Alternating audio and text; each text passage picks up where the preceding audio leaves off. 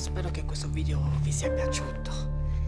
Questo è un piccolo cortometraggio che ho fatto su questa scuola eh, misteriosa dove, dove tutti dicono che questa scuola è eh, sui fantasmi e quindi guardate, eh, guardate, incredibile, andiamocene via e quindi